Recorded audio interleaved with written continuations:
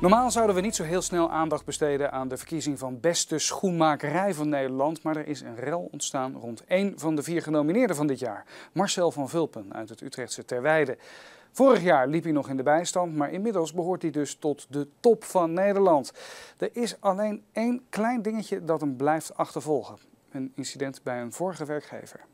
Ik, uh, ja, ik heb een greep uit de kassa gedaan en daar ben ik heel eerlijk over. En het is hartstikke fout. Heeft me huwelijk gekost, uh, ben gescheiden.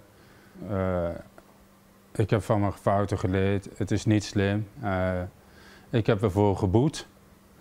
Ik ben, heb een taakstraf gehad. Ik heb een schadevergoeding ben ik terug aan het betalen bij hem.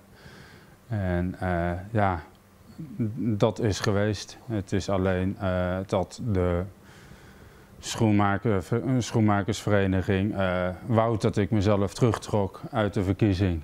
En dat ga ik dus niet doen. ik, vind het een, ik vind het jammer dat wij het in ieder geval van tevoren niet, niet geweten hebben, want dan kan je er wellicht iets anders mee omgaan. Maar het is, ja, iedereen maakt wel eens fouten in zijn leven en krijgt daarin een tweede kans. Het is alleen wel altijd heel belangrijk dat je daar open en helder over bent.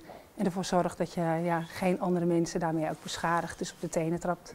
Voor de duidelijkheid, ik heb alles eerlijk verteld en dat is opgenomen. Ik loop er niet voor weg. Ja, oké. Maar goed, het is wel uh, of je het. Uh, nee. Of je. Er speelt meer mee als alleen dit. Kijk, het is ook richting jouw klanten en dergelijke. Je wil natuurlijk ook dat, uh, dat je hier ook echt voordeel mee kan doen.